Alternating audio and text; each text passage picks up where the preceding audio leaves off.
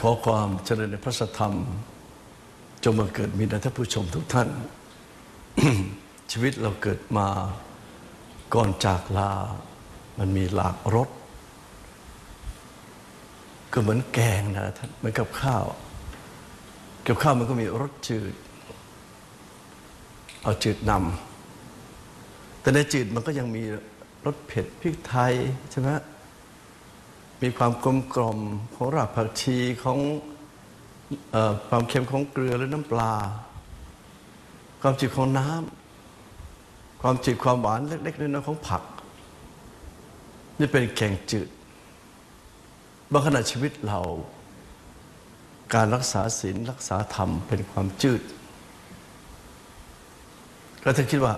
ในการเข้าวัดเข้าวาคงเหมือนแกงจืดนั่นแหละ แต่ว่าในแกงจืดนั้นมันก็กินได้เยอะนะ แล้วก็จำเป็น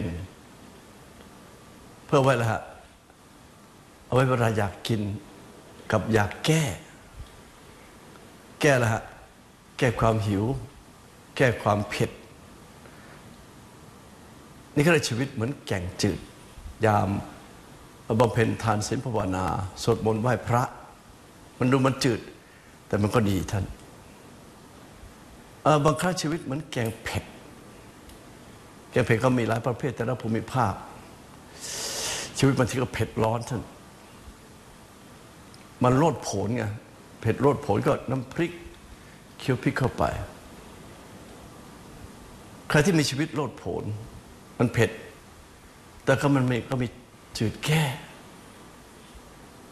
เผ็ดนั้นเขาก็